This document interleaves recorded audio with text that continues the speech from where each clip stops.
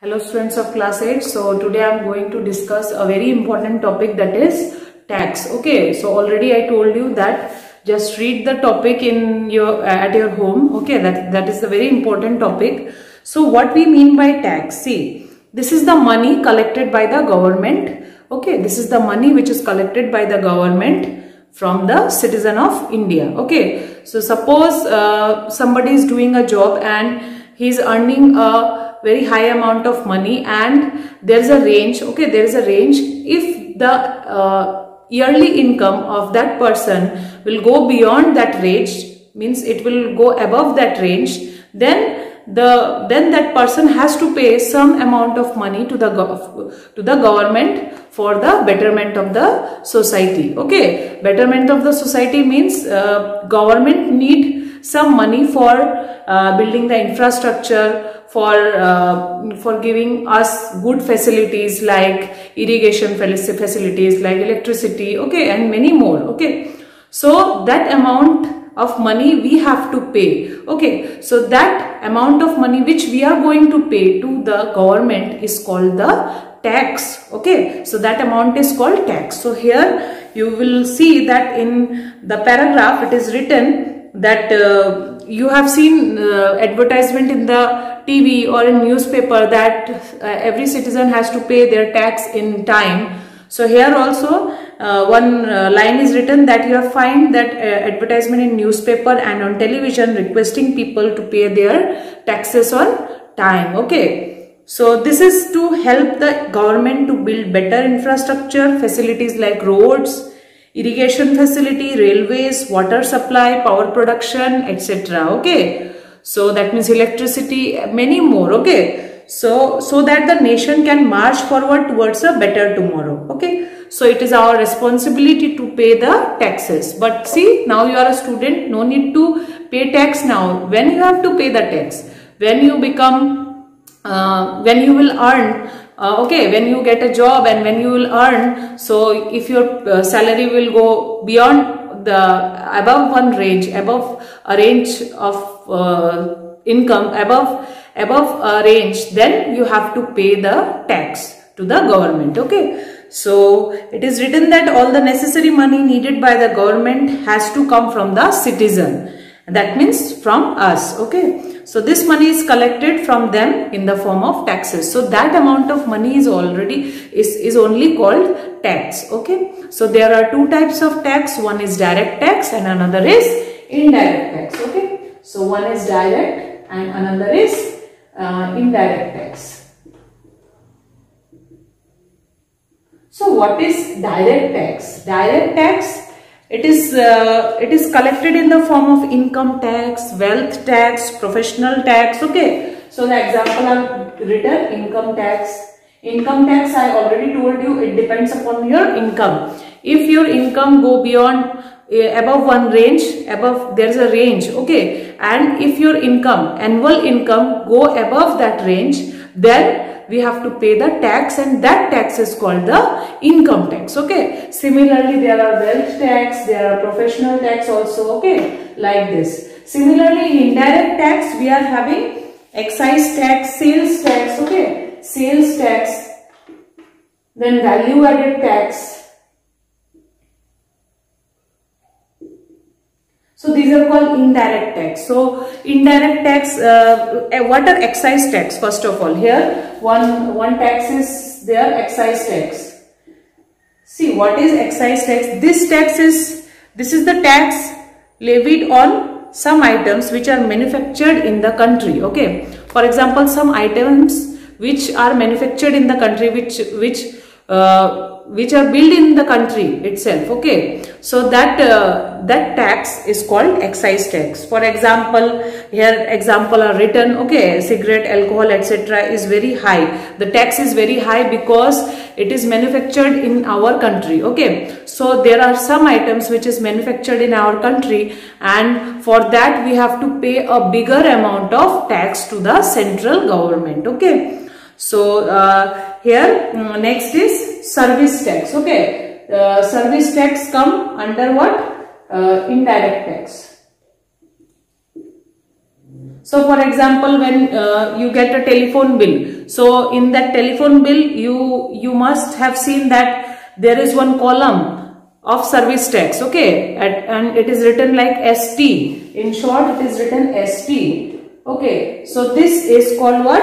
Uh, service tax. Okay, that the, the tax is charged over and above the actual cost of telephone usage. So you are using your telephone okay so that uh, the this tax will depend upon the telephone usage so service tax is also charged in hotel bills for services of chartered accountant uh, consulting firms chartered accountant okay so these are called service tax okay? This is uh, this is paid in hotel bills also. When you go in restaurant that this amount is also pay, paid okay? In in the um, in the bill you will be able to see that what, there is one column of service tax okay?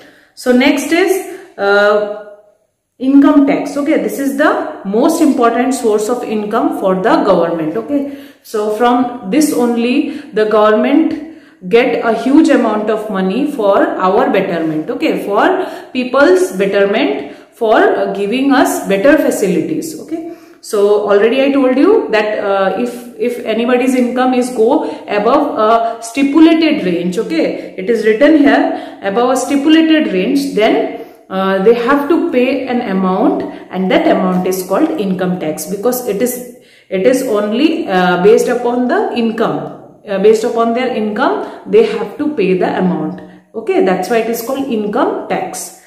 Similarly next is sales tax and value added tax. Okay these are indirect taxes sales tax and value added tax. So what is sales tax and value added tax? Suppose uh, here one example is given. Uh, there is a radio and uh, you want to buy a radio and radio is suppose the cost of radio is rupees 750 so the selling price for the shopkeeper uh, for this radio will be equal to rupees 750 but we have to pay a percentage okay? We have to pay a percentage of tax on it and that percentage is written as uh, as a uh, as a as a sales tax of what? Of 5% okay here it is written in the table that uh, we have to pay a 5% sales tax on the radio. So 5% when we find then we will get 37.50 that means this amount of money also we have to pay so this amount is called sales tax okay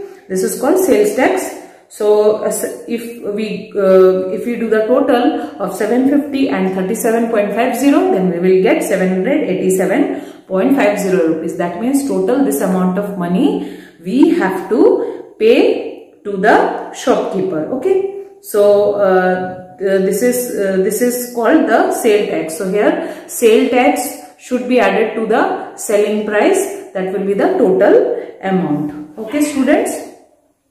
So next last one is value added tax. Okay, already I told you about excise tax, sales, uh, sales tax, service tax also.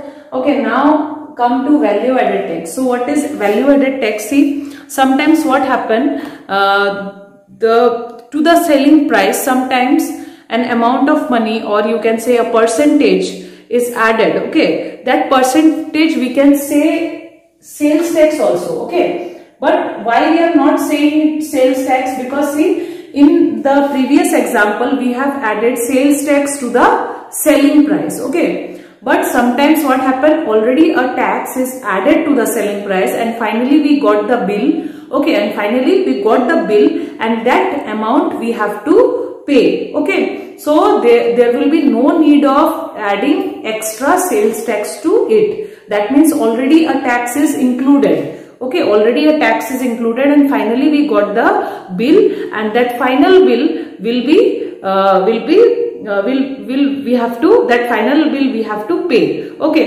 so the tax that is already included in the bill that is already included in the selling price so no need to add it again so that that is called value added tax so what is the difference between sales tax and value added tax Sales tax we have to add afterwards. That means there will be a selling price and there will be a sales tax and sales tax will be added. Okay. So this part we can uh, we can check we can see in the bill that sales tax is, uh, is added. Okay. but in, in value added tax, what will happen in value added tax?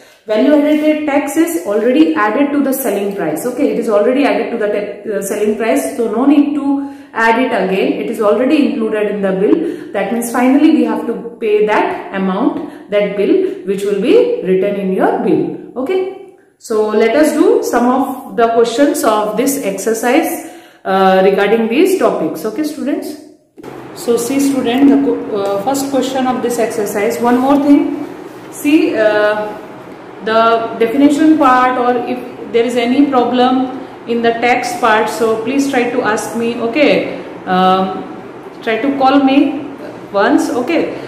If there is any problem regarding text okay. So you can call me you can whatsapp you can uh, ask your doubts okay.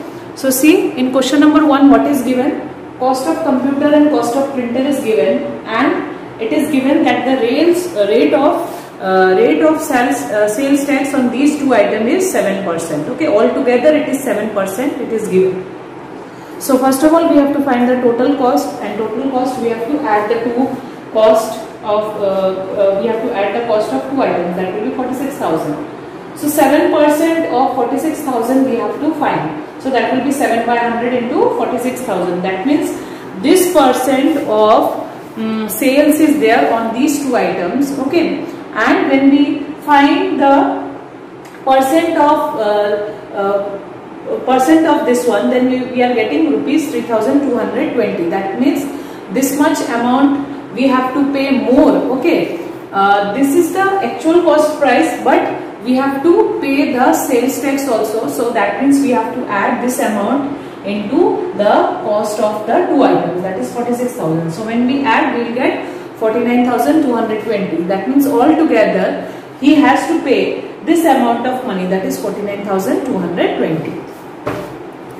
So see I am doing next question number 3. So see here what is given. First of all rate of sales tax of the refrigerator is given. Rate means it is given in percentage. Okay. So rate is given that is 9% and the amount we have to pay that is the price uh, of the sales tax. Okay, the price which we have to pay is rupees what 1170. That means the actual price of that refrigerator is not given. That means we have to find the actual price of the refrigerator. So we know that uh, if we take the actual price as rupees x, then if we find the percentage that is the uh, rate of sales uh, rate of sales tax um, that percentage of the actual price then we should get the amount of the sales tax. So that means according to this condition we can write 9% of x that will be equal to 1170.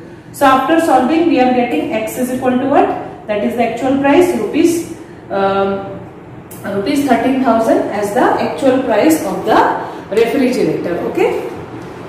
So see student the next question is question number 4. So here in question number 4 uh, John got a discount of 10% on the suit he brought okay? So discount percentage is given and the marked price okay? Already we start we read about marked price the price which is marked on the item. So the marked price is rupees what? 5000 okay? It is marked on that item.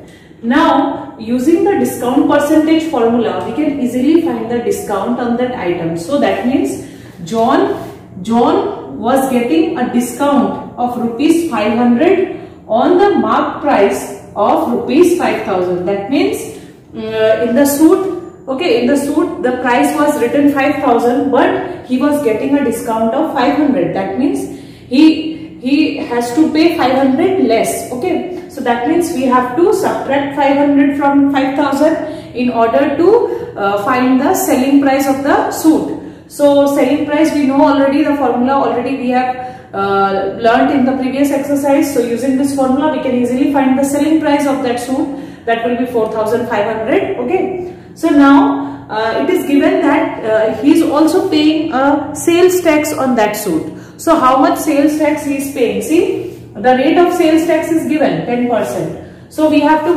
we have to find the 10% of that selling price. So 10% of selling price is what? Rupees 450. That means again after uh, after after this price again he has to pay one amount that is the sales tax amount. So that sales tax amount we have found already using this percentage we have found what uh, the amount of the sales tax and then this sales tax amount we have to add into the selling price to get the total amount John had to pay to the shopkeeper okay? So that means we have to add 450 with 4500 so finally amount of money he had to pay will be rupees 4950 so we will see the next question. I'm doing number 5 okay? So here you can see selling price of cooking range is given and original price of that uh, cooking range is not given and this price is including the VAT tax. That means the VAT tax is also included inside it. So now we have to find the original price of the cooking range. So uh, I have taken the original price as rupees X. You can take 100 rupees also okay? Some student also done using rupees 100 in previous cases also in like in cost price also. Uh, so here also you can take 100 also but I have taken rupees X. So amount of the VAT will be already rate rate percent of the VAT is given as 6 percent. So 6 percent of the original price will be how much? This is 6x plus 100 that means see this was the original price excluding the tax. That's that means no tax is added in this one. Okay this is the original price of the cooking range. And if we add the VAT VAT amount, what is the VAT amount? VAT amount is 6x by 100 and how we are getting this one? Already the rate of VAT is given.